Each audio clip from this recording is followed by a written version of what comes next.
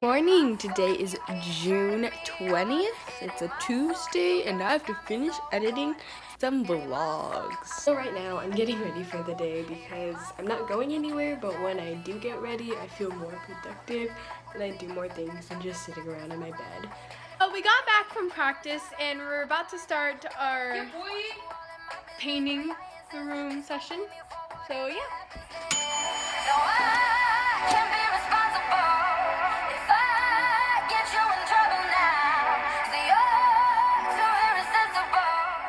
Editing yesterday's vlog and I literally just deleted half of my clips and they're gone forever but who cares. Version of Beauty and the Beast on Netflix and it's more similar to the original but the Beast looks like the lion from Narnia. I finally finished my room and actually I didn't finish it. My dad's going back to the Home Depot to get more paint. How my sister is doing. What's up? So hers is lighter. It's blue. And she I feels was like trying it's to get a blue. brow. I'm currently taking the last part of tape off because I actually got the rest off already, but this is the last one and we have officially got the clean clips. But you put the office on the aux cord.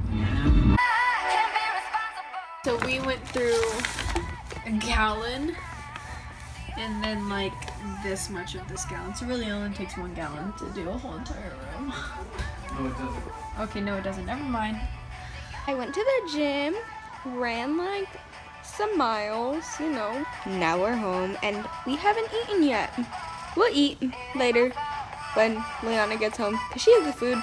So I have small areas. My bed is definitely not done, but I have majority, I guess you can say, of the areas done in my room, and that's gonna end the day for me.